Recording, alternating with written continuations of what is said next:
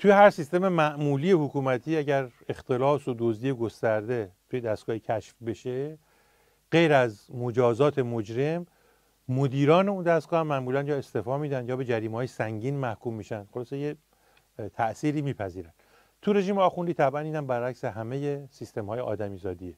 خود مقامات سر باندهای دزدی و قارت هم هستن. این اصلا دیگه خب کی به کی شکایت کنه؟ کارم که از لو رفتن اینجا اونجا گذشته. تو مناظره های انتخاباتیشون هم موضوع بحث همینه. استفا و این چیزا هم که اصلا شوخیه. تلاش برای مخفی کردن هم دیگه در کار نیست چون اصلا عملی نیست. طرف نیومده لابلای کاراش دزدی هم بکنه. نیومده حتی لابلای دزدیاش یه کاری هم بکنه. اومده فقط بچاپه و بدزده و قارت کنه. پس جایی برای لاپوشانی هم دیگه وجود نداره.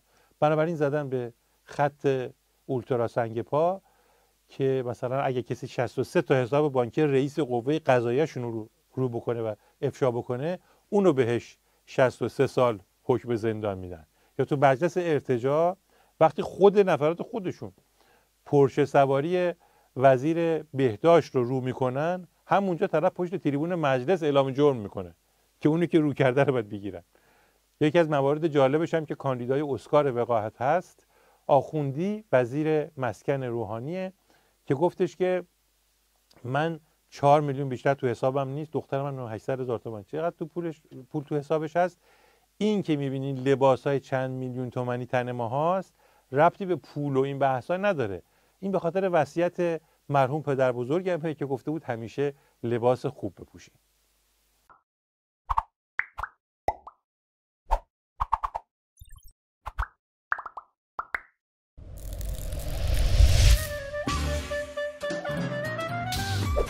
هر روز که میگذره بیشتر متوجه میشیم که این وزیر وزرا و سران حکومت آخوندی چقدر بدبخت و مفلس و فقیرن. من نمی‌دونم مثلا این کمیته امداد چرا هیچ غلطی واسه این بیچاره ها نمی‌کنه. آقا واقعا دلمون کباب شد.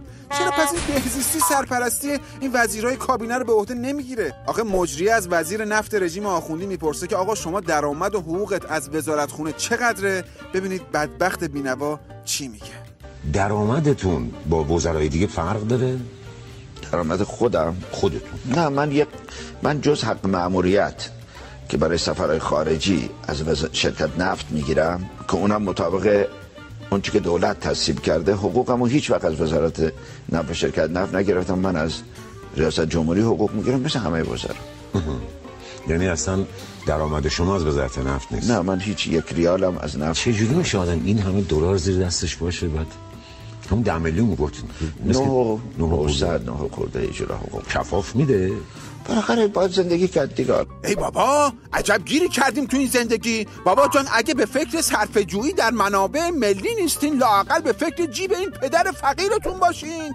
کم کن صدا اون تلویزیون لامصبو بابا جان مگه من چقدر حقوق می‌گیرم که شما اینطوری بریز و بپاش می‌کنین؟ قبض برق اومده 420 هزار تومن. آخه من چجوری اینو پرداخت کنم؟ قبض موبایلاتون هم که روی هم اومده دو میلیون و 700 هزار تومن. 6 میلیون تومن هم که اجاره ویلای لباسونه 9 میلیون هم که قسط بانک آپارتمان قیتریه. ای بابا من چجوری با این حقوق بخور نمیر زندگی به چرخونم آخه؟ چرا یه ذره به فکر جیب من نیستی؟ این دیگه چیه؟ ها؟ 8 میلیون تعمیر ماشین شاسی بلند؟ عجب گیری کردیم ما. بلیت تور اسپانیا 16 میلیون و 700 چیه؟ شهریه دانشگاه 43 میلیون. بابا بیچارم کردین شما 74 میلیون عمل زیبایی. چه خبرتون آخه؟ باشه. حالا این ماه رو هم من با همین حقوق بخور نمی رو خودم پرداخت می‌کنم. ولی از دفعه بعد اینجوری هزینه نکنید من یه وزیر سادم وزیر نفتم وزیر مسکن نیستم که اینجوری خرج می‌کنین شما ها